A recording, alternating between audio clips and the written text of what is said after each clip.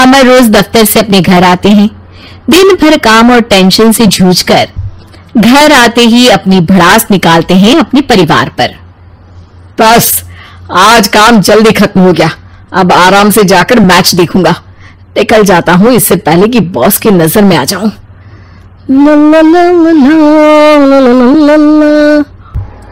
अमर कल जो report file करनी है उसमें लास्ट मिनट चेंजेस आए हैं आज जाने से पहले अपडेट कर देना। अब, अब, सर आज जल्दी जाना ज़रूरी है। बेटे को स्कूल के ज़रूरी सामान खरीदने ले जाना है ना। अब जब तक तुम पहुंचोगे मार्केट तो बंद हो गया होगा। सर इसलिए जल्दी जाना होगा। एक काम करो कल जल्दी चले जाना। अमर बेबस होकर बॉस का ऑर्डर मानकर फिर काम में लग जाते हैं। किसी तरह मन मार कर काम खत्म करते हैं। और चिड़चिड़े मन से घर पहुँचते हैं। निशा जल्दी से खाना लगा दो।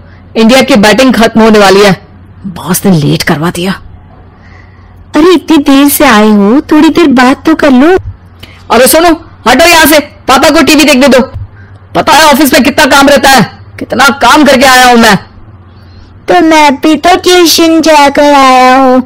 अब अब, आज जाओ जाके फिर होमवर्क कर लो। कल स्कूल भी जाना है ना?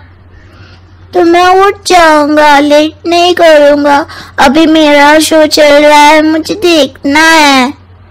अरे समझ नहीं आ रही बात एक बार में। एक थप्पड़ दे के समझाओ क्या? रिमोट दे और सोने जा।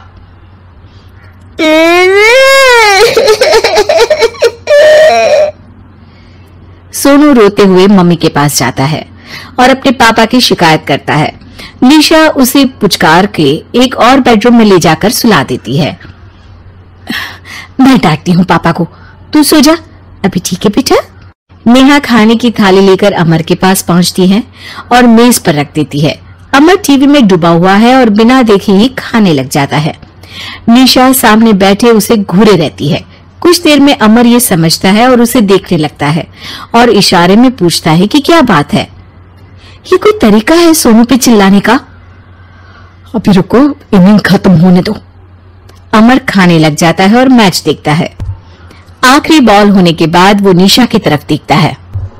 अरे निशा पानी दे दो जरा। निशा थाली के बाजू में रखे ग्लास पर इशारा करती है। अमर उठा के पानी पीता है। हम्म, अब बोलो। बच्चा है सोनू। एक बार तो मिलते हो दिन भर में रात को। और फिर वो अपने पापा की डांट सुन के सो जाए। अरे बच्चा है तो बात सुननी चाहिए ना उसे मेरी। जवाब दे रहा था अरे दिन भर के बाद आया हूँ इतना काम किया बॉस के नखरे झेले और घर आओ तो बेटा बहस करे। और सारी भड़ास घर आकर घर वालों पर निकालो। अरे तुम क्या बोल रही हो मुझसे ऐसे? तुम भी तो सारा दिन साथ रहती हो। डांटती भी तो हो उसे। बता रहा था वो मुझसे। अभी कुछ दिन पहले ही डांटा था ना तुमने? हाँ मुझे अभी सोने के पहले बता रहा था। देखो अभी झगड़ा मत करो। मुझे आराम करना है टीवी देखने दो। अरे तो उसको भी तो दिन भर पढ़ाई के बाद देखना होता है ना टीवी आराम करने के लिए। कोई ज़रूरत नहीं है छोटा है अभी आदत बिगड़ जाएगी। और तुम उसकी वकालत करना ना बंद कर दो।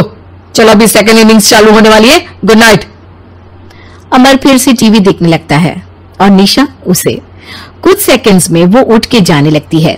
दरवाजे तक पहुँची होती है कि अमर कहता है अरे सुनो तो चाय बना देना एक कप।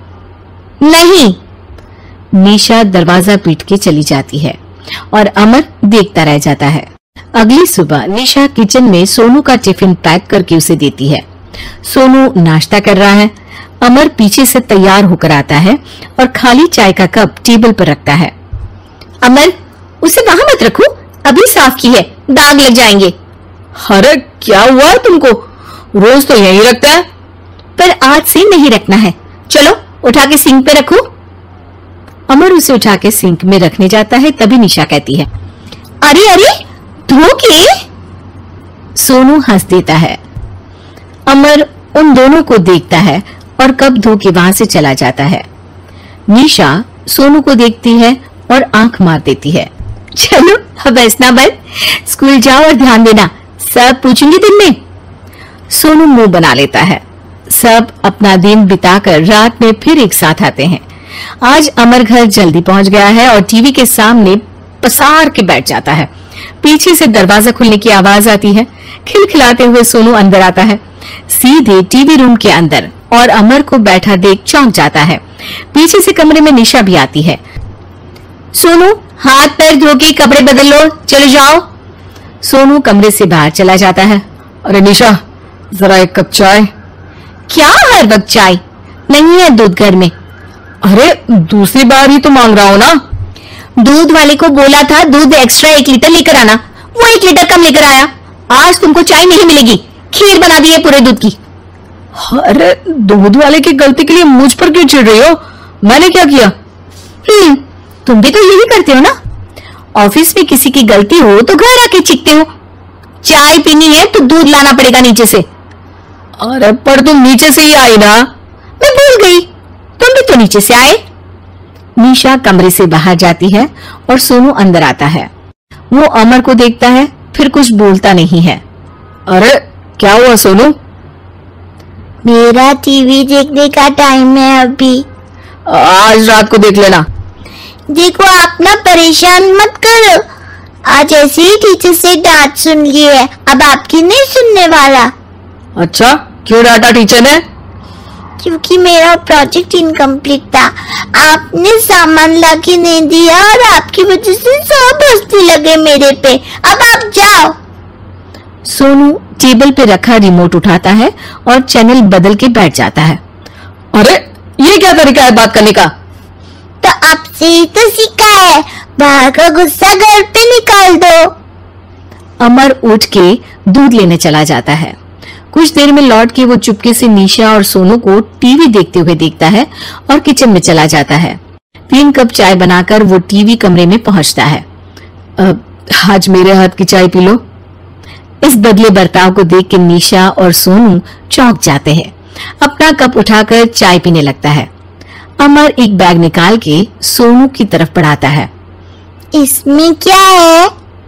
प्रोजेक्ट का सामान और गिफ्ट। हम्म। लगता है पापा दूध लेने गए और गुस्सा छोड़ के आ गए। कैसी है सोनू के पापा के हाथ की चाय? स्वीट स्वीट बिल्कुल मम्मी की तरह। और पापा की तरह नहीं? पापा की तरह कड़क है। सॉरी बेटा अब समझ गया कि ऑफ़िस में कुछ भी हो उसे ऑफ़िस तक ही रखूँगा। प्रॉमिस निशा और सोनू को गले लगा लेता है। और उस दिन के बाद कभी घर की चिंता दफ्तर में नहीं गई और ना दफ्तर का टेंशन घर में आया।